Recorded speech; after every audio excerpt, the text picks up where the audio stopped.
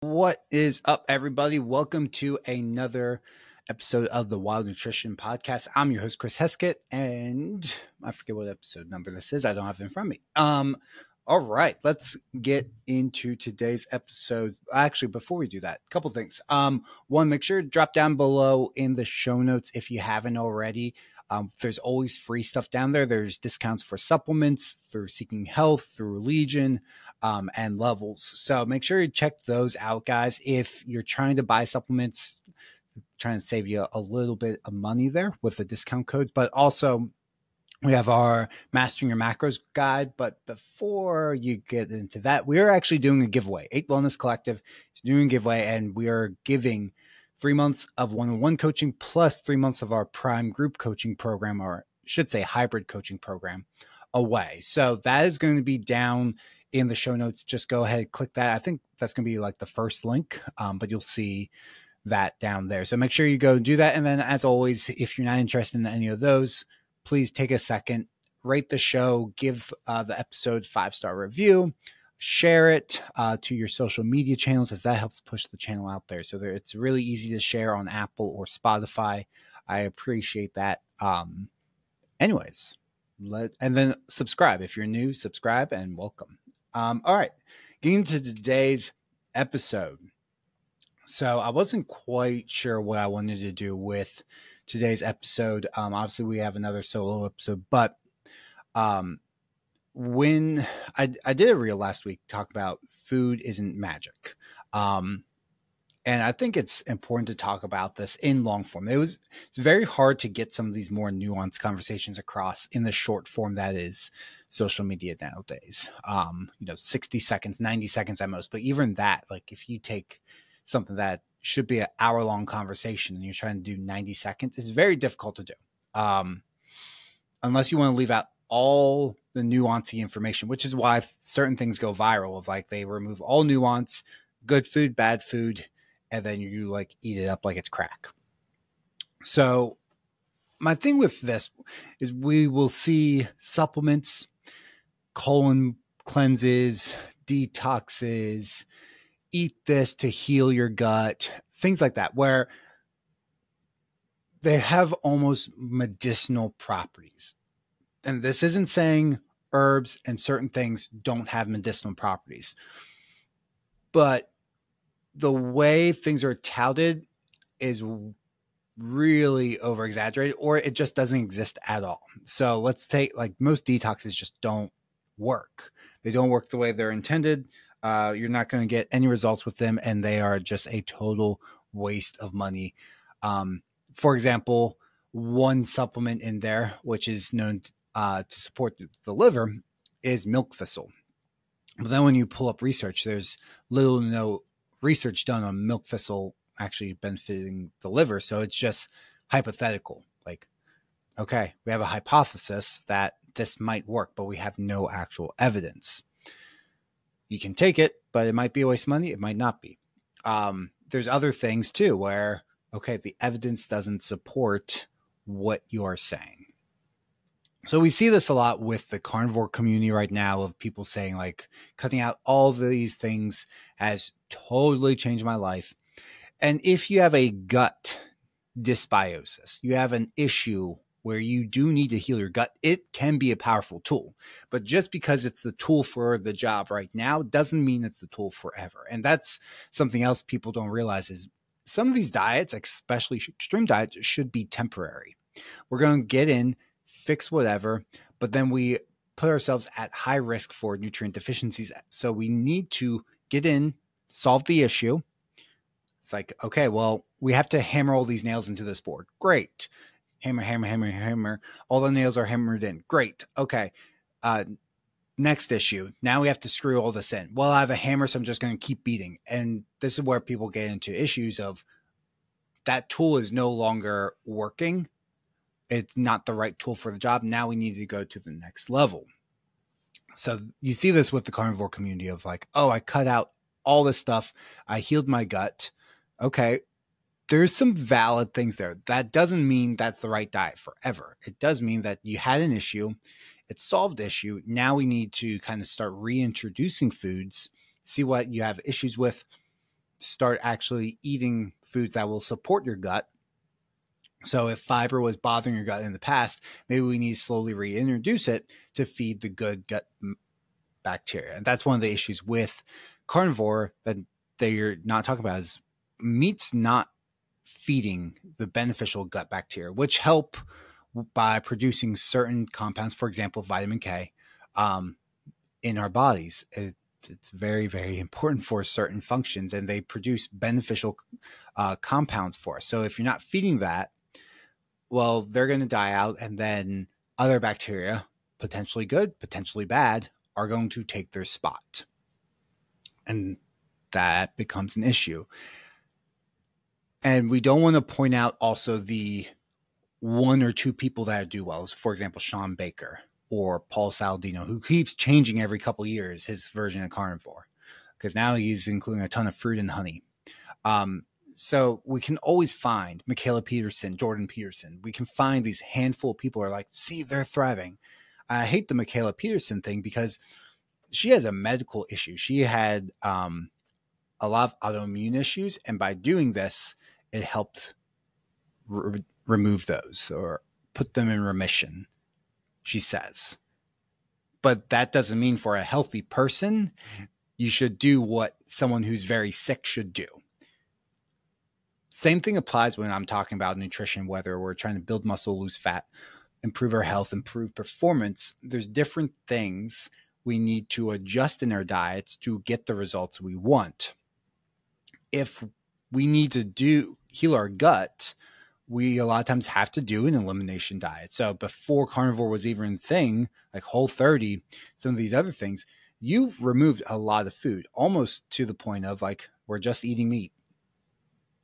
And then we slowly introduce them. It's like we removed, then it's your job to figure out what triggers your gut, what doesn't, and add them back in. Well, we can't point like, hey, see, this sick person got well with it. Therefore, I'm I just need to lose some weight. Other than that, I'm fairly healthy. So that's the right diet for me. No, that's going to put you at severe risk for nutrient deficiencies. We have we have to compare ourselves or figure out the diet that works for us, not what worked for this other person. And I've used carnivore with some clients. So I'm not saying don't do it, but we have to use the tool for the right job. If the job is hammering nails, then we need to use a hammer. But if it's putting screws in, using a hammer is not going to get you anywhere. You're going to break the screw, split the board open, or whatever. It, it's or you're going to whack your thumb. It, it's not going to be a good time. Carnivore is great for people who have gut issues, and we wipe out everything, and then we do that for say 30 days. Then we slowly start reintroducing foods. It's great for that. Done it, it with people. It's very helpful. Not everybody needs to do that. Same keto, same thing. Most people don't need to go into a keto diet. Some people have success with it, losing weight, but then we run into the issue of um, it's not sustainable long term. You have to ch- adjust your lifestyle to be keto. Like everything revolves around being keto now, almost like a religion, because most things aren't set. Like you can't go to if your Meemaw is making you dinner, like you can't go there. You can't go to a family gathering, or you have to bring all your own stuff. You can't go to birthday parties and eat. You can't do these other things and eat because it's not going to be keto friendly. You can host people over, but the whole diet revolves around that. You can't go out to eat with friends everything in your life revolves around being super low carb and moderate protein. So keep the, it's not like you can just go and eat chicken breast. Like it's high fat, moderate protein next to zero carb. So we can't go that route. But for people with epilepsy, it seems to be beneficial to go ketogenic. Well, for them, yeah, that improves their quality of life. Whereas for you as a listener, it might diminish your quality of life. And therefore, you're going to fall off. You're going to go back to old habits. Your life is going to become more enjoyable, but then you didn't really learn anything of how to keep weight off if your goal was weight loss during it. And then the weight comes tumbling back. So, kind of gotten off topic of the food is magic, but th- there's no diet protocol, there's no supplement, there's nothing that is completely magical. Shilajit is something that popped up. It is a tar from the Himalayas, and they're like, it's full of minerals and amino acids and stuff. And it's like, yeah, but which ones? And why can't we just get those from like other sources? Like, what's so special about it? And there's nothing really special about it. It, it popped up, it got really popular, and now it's on the, you know, it's going. Uh, it pops up every couple years. A lot of these pop up every couple years. There's not really anything to support. There's uh, other things that pop up, and they're like, oh, it, ketones are another one. Uh, I saw someone yesterday in the Facebook group, like asking about ketones. I'm like, people are still talking about the ketone supplements. Like, what a waste of money. Like, no, don't don't buy it. There, there's no magical solution. Food is food. Now, food exists on a continuum. There's food that is definitely health promoting most of the time.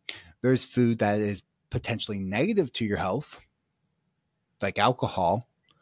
There's food that is kind of neutral and then the, everything in between. So, for example, diet soda, I would put at neutral to slightly negative. and this is where the why the good versus bad doesn't make fucking any sense because people will be like, I would never eat this. Well, like, how bad is it? Seriously, the dose makes the poison. And when we look at artificial sweeteners, you have to have so much. Now, if you choose to avoid it, that's fine. But also realize like you really do have to have a shit ton to see negative effects. So do- dose makes the poison. Also, dose makes you know any health benefits. Um, so with diet soda, it would be slightly negative, whereas something else.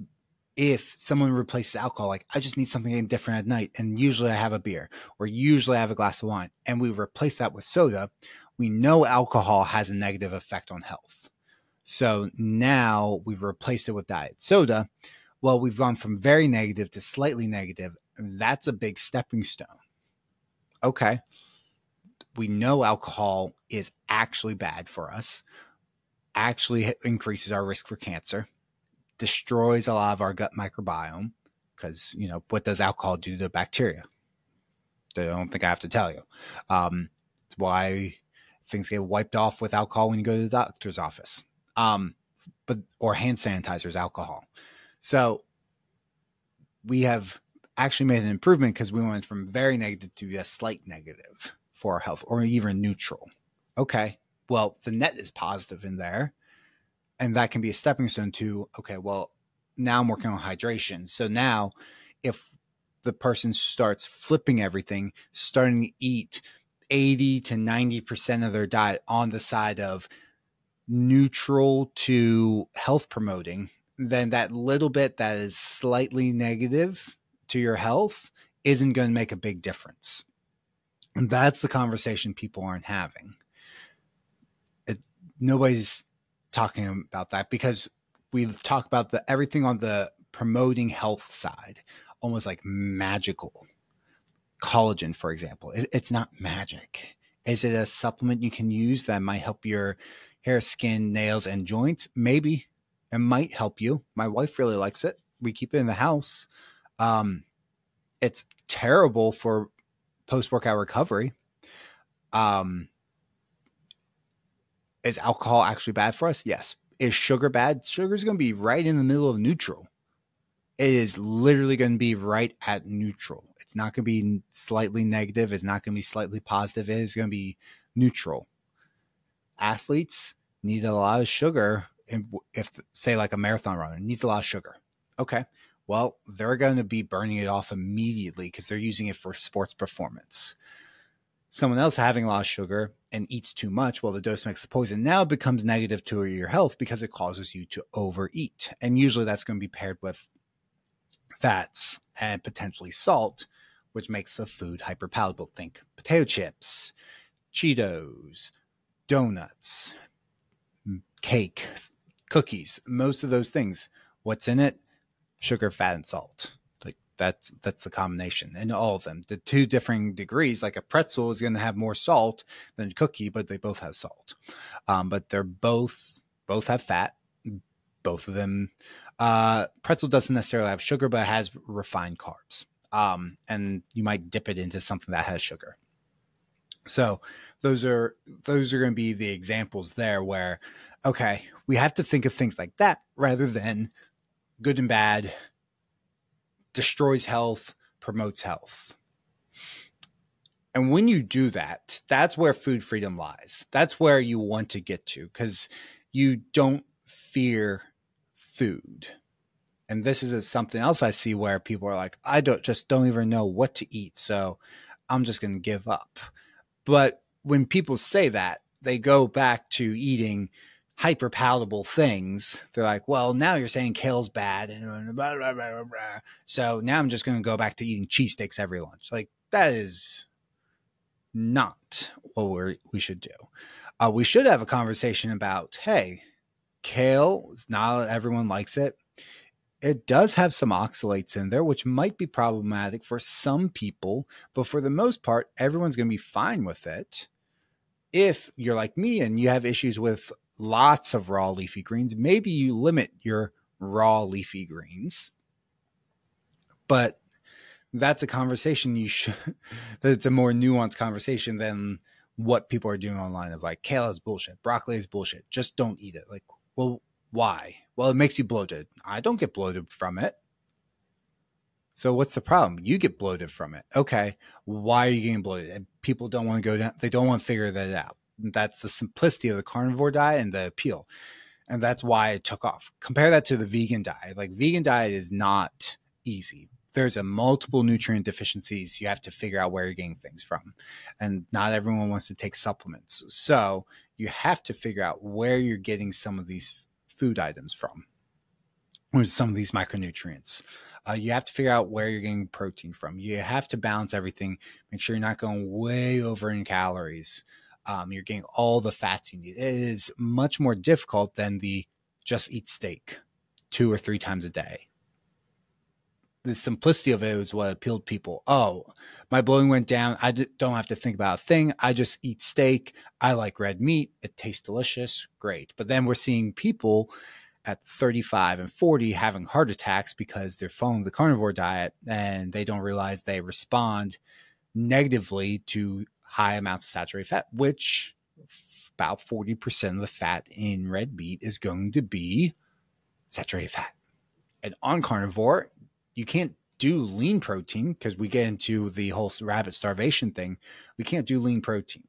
So you are basically doing keto, just eating meat. Maybe it's not as high in fat as keto, but you're basically doing keto. So you have to have fatty cuts of meat, which means it's a very high saturated fat diet, which we know is not good for us long term. Some people do fine. They don't respond negatively to saturated fat. And this is where you have to figure this out on your own.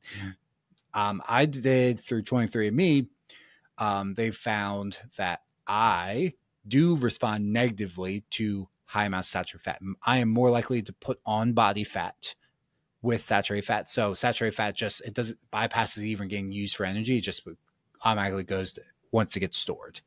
Um, so that was one of those things. Figured out. Okay, like I can't do a high saturated fat diet. Uh, there's also a family history of heart attacks, high cholesterol, and other things where I'm like, that's not good for me.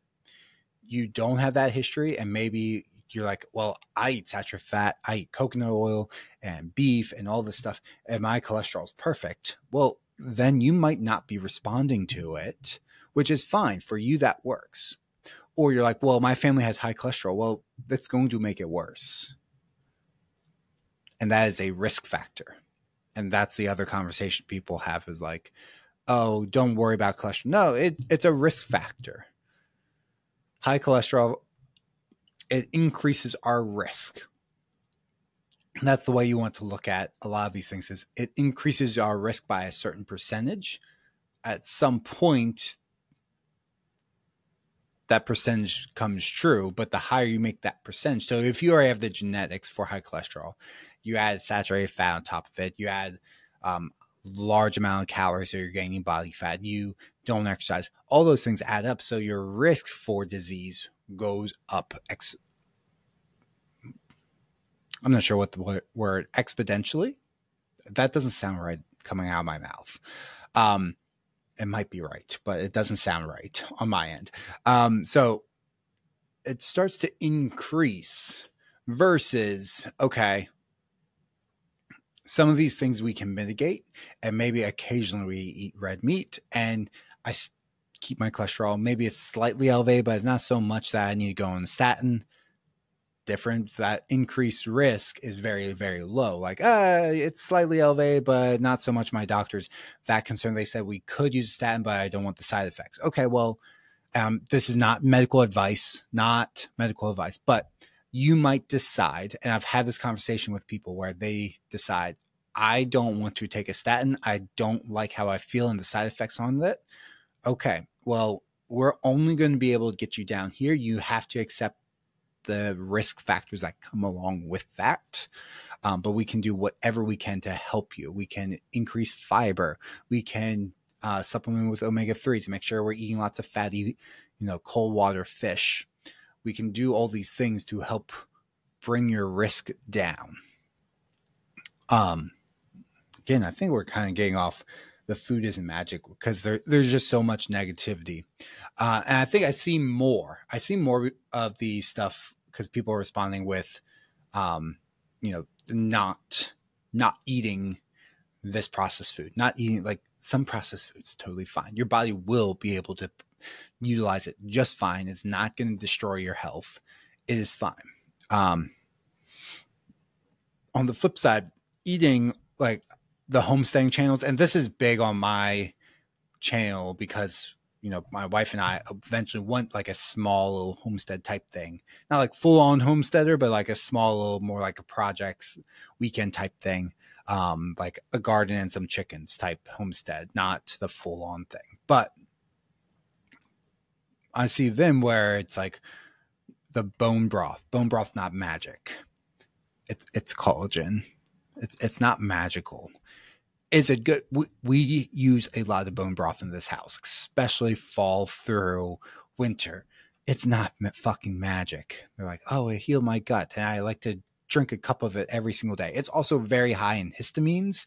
And if you have an issue with processing histamines, you have a lot of allergies, it's going to be an issue for you eating, drinking that. It's not magic. There's pros and cons to it.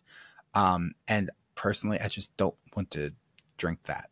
Um, all the time. Like I can't imagine like waking up in the morning like I have a steaming cut up of hot bone broth. Like I'll do it when like I'm sitting in the tree stand for deer season. Um, that's pretty good in the cold, but most of the time I'm not fucking doing that.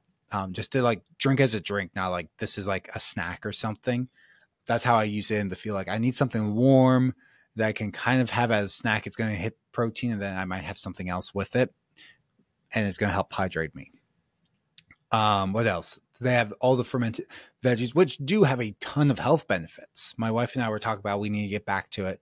Um, but again, it's not magical. If we really need to improve our gut health, we might need to go in with a high dose, which is a supplement of a probiotic with multiple strains in there, not just be eating kombucha and some sauerkraut that you made at home. That's that's great for maintenance. That's not magic. Raw milk's not magic. We're not going to go into those details there because uh, that is a shit show right now. Um, what else? What else? Is, there's a few other things on those channels, but point being, there's no magical food or supplement that's going to heal all. When you hear about that, one, it's immediate red flag, and we want to go and look at studies and you can do this with supplements easy through examine.com. It's if something pops up and they're like, "Oh, did you see, you know, I heard I'm like, "You know what? I haven't looked into the supplement for a long time. I don't have time to go through and comb over every single thing of research. The thing is, they do it. That's their job. So they go through and they show you the effects. So it might do what it says. Like, let's say it's fat burning supplements. People who have this supplement burn fat they lost more weight. And you're like, great, it's $80 a bottle. Let me go check it out. And you'll see for the human trials, and it'll say, it gives you how much of an effect there was by the arrows. So like negligible, no effect, slightly negative, slightly positive.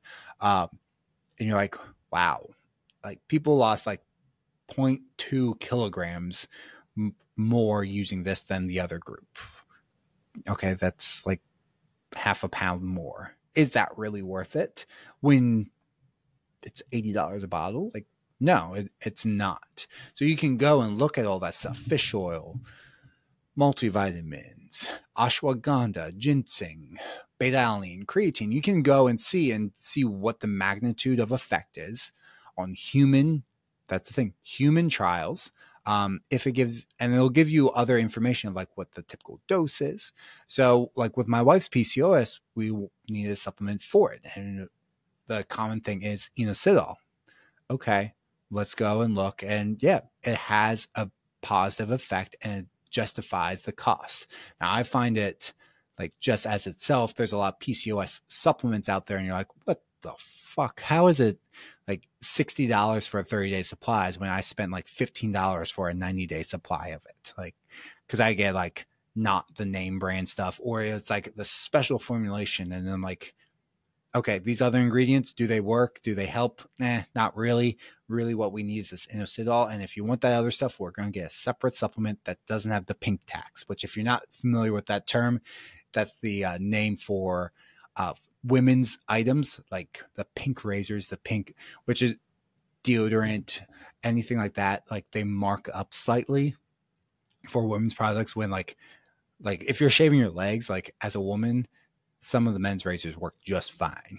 So you don't need to, but they mar- will mark those up, um, which is weird, mar- like really unethical market marketing. Um, but you'll see that with supplements too. Of like, you're like, what the fuck is this? Mean, they do it with men, but it's more common with women with fat burning and other things.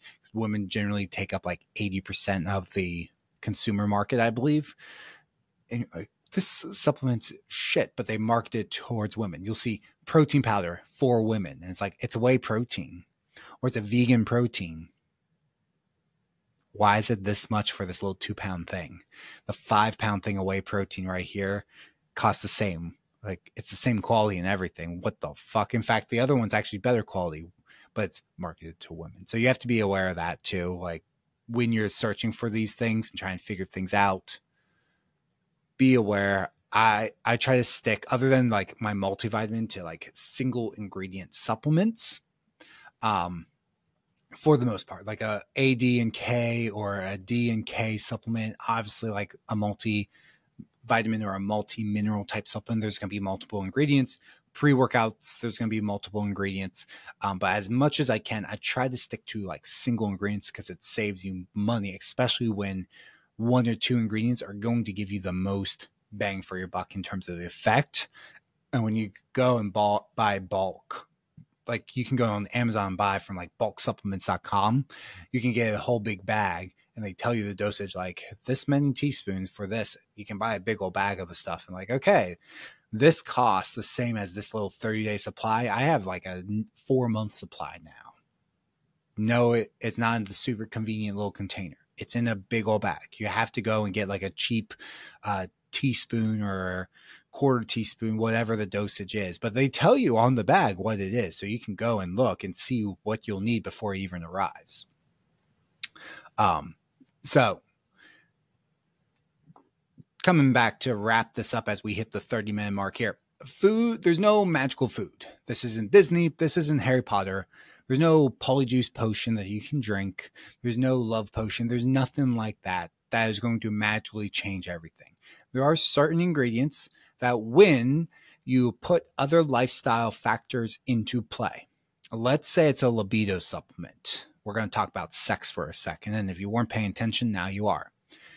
If we take that, uh, a libido enhancer, it's not going to really have all that much effect other than maybe placebo effect unless you put other things into play. You start working out, you start watching your nutrition, you start doing these other things then it you might notice a bigger difference with it. But in general, if you just take a supplement like a libido enhancer, it's not really going to have an effect other than placebo. And placebo affects a real thing. This is how fat burners work. This is literally how fat burners work. So, and it's how some of the muscle building supplements work too. So, what happens is you're desperate for something and you're like, I'm going to go and spend 50, 100, whatever amount of money on this thing. It's going to help me lose weight. And it's basically glorified caffeine. Okay, so you just dropped all this money and you're like, okay, shit, that was expensive. So I want to get the most bang for the buck. So I'm going to work out or I'm just going to make sure I like walk every day when you weren't before. And I'm going to, I'm not going to really change my diet, but I'm just not going to eat as much. I'm like not going to get seconds. I'm going to stop when I'm 80% full. I'm not going to like stuff myself every single day. And I'm not going to drink alcohol. Um, I'm going to go to bed on time. I'm not going to stay up super late because I heard like that's going to inhibit fat loss. Um, so what we did was we cut out calories, we increased movement, and then we're getting more sleep. So without the supplement, you would lose weight just doing those things. But that's the snowball. And it can be a powerful tool. Like you can, this is also like how you kind of tie other habits in. You can use the same phenomenon with other things. And this is where I say, like, maybe it's your nutrition or may what's the one thing to kind of like get you going for the rest of the day? Because if you're like, oh, like when I wake up in the first thing in the morning, and get my workout in, it sets the tone for the day. Like, yeah, because now you're like, well, I already got my workout in, so I know I'm going to be sore as fuck tomorrow if I don't eat right. So I'm going to watch my diet. And I busted my butt. That was a really hard workout. I don't want to go and eat 14 pancakes. Like I'm going to have like a, a balanced breakfast. I'm, I don't want to like keep doing these really hard workouts forever and ever and ever. Like I want to change them up eventually, but my trainer said they're best for fat loss. So I'm just doing that. So I'm going to continue to watch my diet. I'm not going to drink alcohol. I'm going to get, now I'm tired. So I'm going to go to sleep I'm not staying up and drinking. So, okay, now turn around, work out the next day. That snowballs. You can see where this can be a positive thing too. So you can all use it in that way. But uh, most people do it with supplements. And we saw this also uh, with pro hormones and SARMs with some uh, teenagers and young 20 year olds. Um, so if you're not familiar, it's basically the legal version of steroids that were less powerful, but with some nasty side effects. Um, with the pro hormones, SARMs were safer um, but way, way less effective. Um, and some of them were pretty unknown if they were going to have side effects or not, which most things have some sort of side effect. And they would come in like, oh, well, now I'm going to die. Now I'm going to do all those. And it's like, why weren't you doing that before? You would get better results. No, it's not even worth it. Like, what the fuck?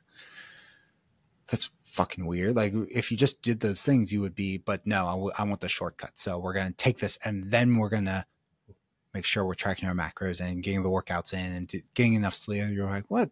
Like, just just do the other things. All right, so that's going to be where we wrap up, guys. Thanks for tuning in. If you have any questions, you can always reach out to me. And as always, make sure you check out the stuff down below. We are doing that giveaway. So Make sure you fill that out. That is going to be only open this week. So next Monday, it's going to be closed. If you're listening to this episode at a later time, sorry, that link's not going to work for you. It might still like you might be able to still submit the form, um, but we're not going to be doing it after Sunday or Monday. So um, when it comes to that, go ahead, fill that out, put that um, do that ASAP. And then if you're not interested in that, there is the Master Your Macros guide. And then as always, I would appreciate it if you left a five star review real quick and if you would share it or at least write a review on Apple, as that helps the show get pushed out for more people to find it.